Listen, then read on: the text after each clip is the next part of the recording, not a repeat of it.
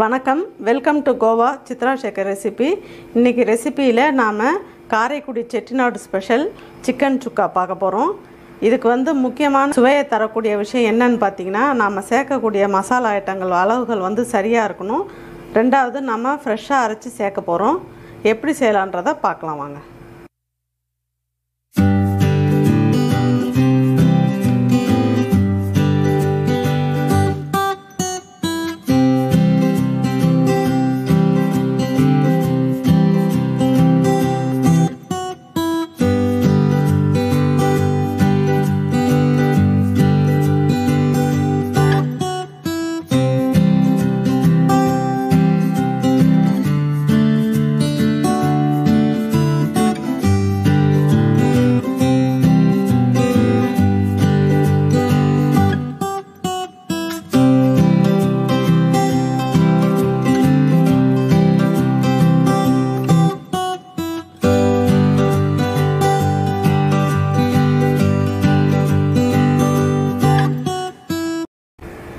இப்போ நம்ம அடுப்பை ஸ்டார்ட் பண்ணிக்கலாம். இப்போ நம்ம எல்லா மசாலா பொருட்களையும் ட்ரை ரோஸ்ட் பண்ணி எடுக்க போகிறோம் இப்போ பேன் ஹீட் ஆகிடுச்சி இதில் பத்து நம்பர் கிராம்பு சேர்த்துருக்கேன். ரெண்டே ரெண்டு பட்டை ஒரு ஸ்டார் பட்டை சேர்த்துக்க போகிறோம் கொஞ்சமாக கல்பாசி. முதல்ல இது எல்லாத்தையும் வறுத்துக்கலாம். இது நல்லா ட்ரை ரோஸ்ட் பண்ணும்போது நல்ல வாசனையாக இருக்கும். இதுக்கப்புறம் ஜீரகம் சேர்த்துக்கலாம். ஜீரகம் வந்து ஹாஃப் அ டீஸ்பூன் எடுத்திருக்கேன். நல்ல பொரிய விட்டு வறுத்திங்கன்னா தான் டேஸ்ட் நல்லாயிருக்கும்.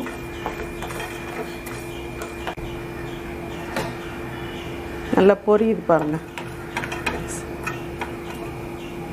அதுக்கப்புறம் மிளகு சேர்த்துக்கலாம். மிளகு வந்து ஒன்றரை டீஸ்பூன் எடுத்திருக்கேன். மிளகு காரம் தான் நல்ல டேஸ்ட் கொடுக்கும். செட்டிநாடு உணவு வகைகளுக்கு அவங்க வந்து மிளகு நிறைய சேர்த்து செய்வாங்க. அதுதான் டேஸ்ட்டு எப்படி பொரியுது பாருங்கள் இந்த மாதிரி பொரிஞ்சால் தான் டேஸ்ட்டாக இருக்கும். நல்லா பொரியணும். மிளகு ஜீரகம்.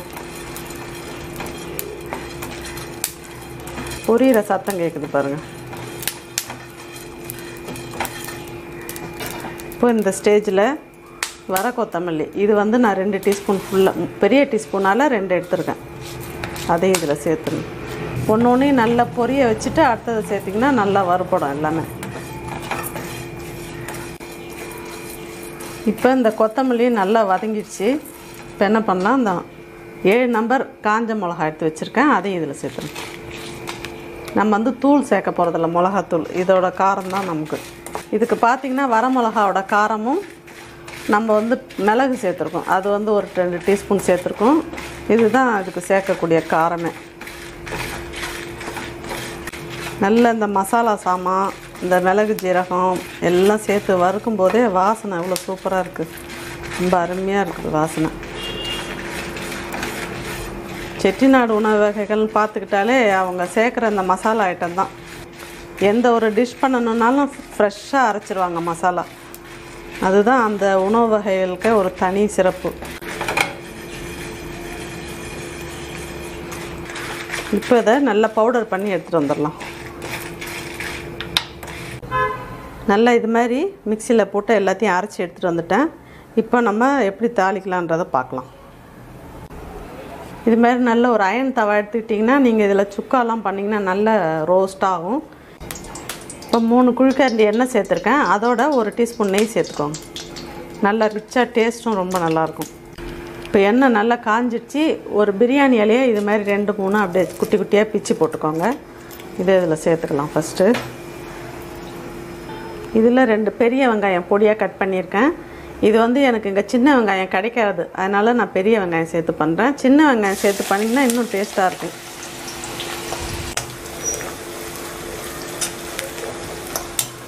நல்லா கோல்டன் ப்ரௌன் வரணும் நல்லா சுருளை வரணும்.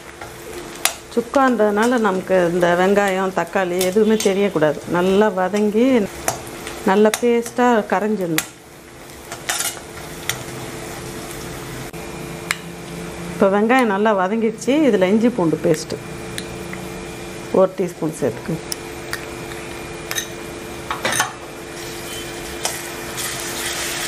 நம்ம மசாலா ஐட்டம் பூரா எல்லாம் வறுத்து அரைச்சதுனால இதில் எதுவுமே போட தேவையில்ல.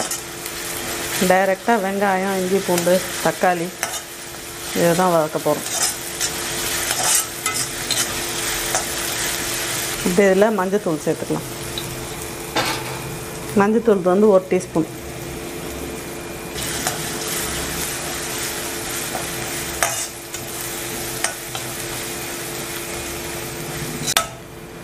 நல்லா இஞ்சி பூண்டு பச்சை வாசனை போகிற அளவுக்கு நல்லா வதக்கி வச்சு அதுக்கப்புறம் ரெண்டு தக்காளி பழம் இது மாதிரி பொடியாக கட் பண்ணி வச்சுருக்கேன். அதையும் இதில் சேர்த்துக்கோங்க.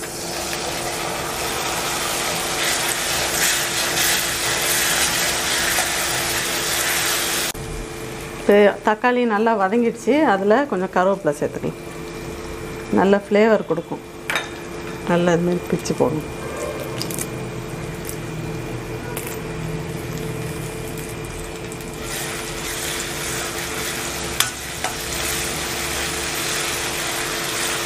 அப்படியே இதில் நம்ம அரைச்சி வச்ச இந்த பொடி இருக்குது பார்த்தீங்களா? அதை அப்படியே மொத்தத்தையும் இதில் சேர்க்கணும். ஃபைனலாக தான் எல்லாம் வதங்கின பிறகு சேர்க்கணும். நீங்கள் ஃபஸ்ட்டே சேர்த்துட்டிங்கன்னா எண்ணெயில் கருகுன வாசனை அடிக்கும். டேஸ்ட்டும் நல்லா இருக்காது. மிளகுலாம் சேர்த்துருக்கறதுனால ஃபைனலாக தான் சேர்க்கணும். எண்ணெயில் இதுவும் வதங்கிடுச்சு. இப்போ சிக்கன் சேர்த்துடலாம் அதில் இப்போ நான் வந்து ஆஃப் கேஜி சிக்கன் எடுத்திருக்கேன். இதை வந்து நல்லா தண்ணியில் வாஷ் பண்ணிவிட்டு தயிரும் எலுமிச்சம்பழமும் சேர்த்து அரை மணி நேரம் ஊற வச்சு எடுத்தேன். அதுக்கப்புறம் குக்கரில் ஒரு விசில் வச்சு எடுத்திருக்கேன். ரொம்ப வெந்துடும் அதனால் ஒரு விசில் வச்சா போதும். எந்த ஒரு நான் வெஜிடேரியன் செஞ்சாலுமே இது மாதிரி நீங்கள் ஊற வச்சு செஞ்சிங்கன்னா நல்லாயிருக்கும். இப்போ இதை இதில் சேர்த்துடலாம்.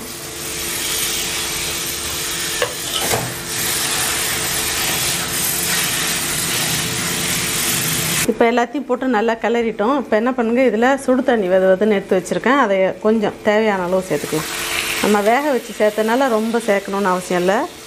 அரை டம்ளர் சேர்த்துருக்கேன் பாருங்கள்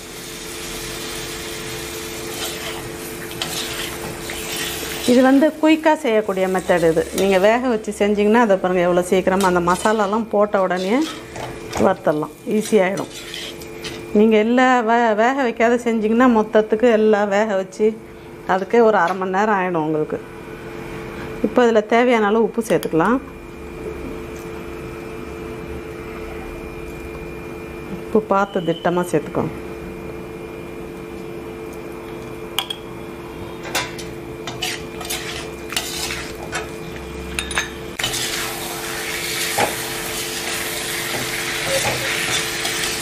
நல்லா இது கொஞ்சம் அந்த மசாலாலாம் இறங்கணும் சிக்கனுக்குள்ளார அதனால் சிம்மில் வச்சு கிளறினீங்கன்னா சரியாக இருக்கும்.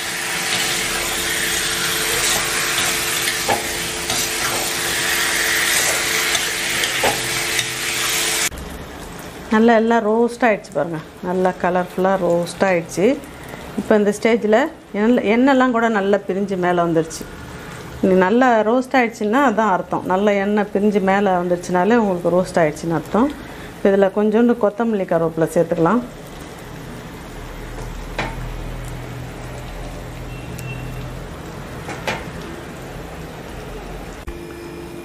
இப்போ நல்லா எல்லாம் ரோஸ்ட் ஆகிடுச்சு எண்ணெய்லாம் நல்லா மேலே பிரிஞ்சு வந்துடுச்சு பாருங்கள் இந்த ஸ்டேஜில் அடுப்பை ஆஃப் பண்ணிடலாம்.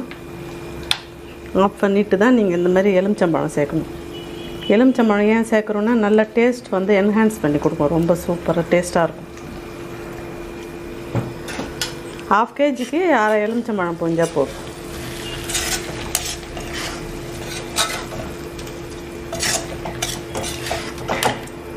நல்ல சூப்பர் டேஸ்ட்டில் ரெடி ஆகிட்டு பாருங்கள் Karaikudi Chettinad chicken sukka. Ready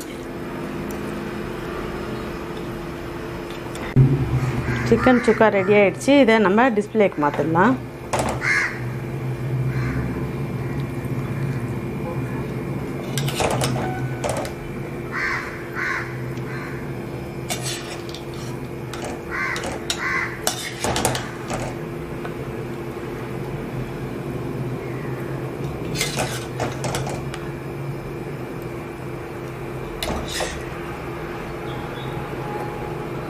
நல்லா காரைக்குடி செட்டிநாடு ஸ்பெஷல் சிக்கன் சுக்கா. சூப்பராக பண்ணியிருக்கோம்.